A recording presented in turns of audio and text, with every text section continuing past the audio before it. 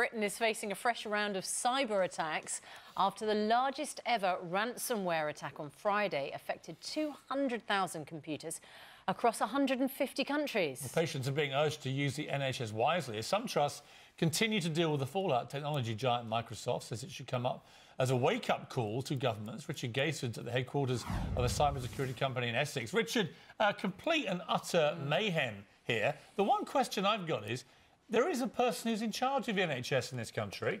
There's a cabinet minister whose sole job it is is to take care of the NHS. His name's Jeremy Hunt. We have not seen or heard from Jeremy Hunt now since this started on Friday morning. Where is Jeremy Hunt?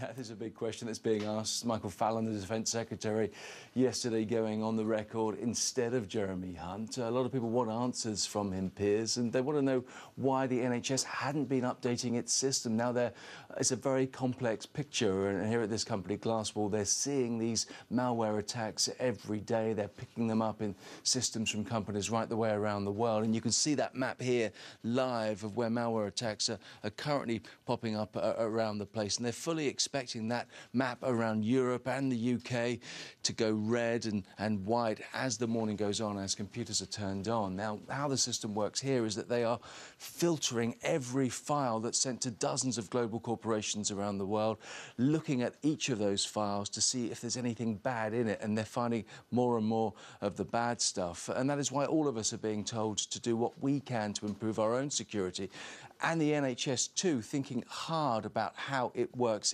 systems. And it is still having a big effect today, and it is likely to get worse as many people go back to their offices after the weekend, turn on their computers, and discover that they too have been affected.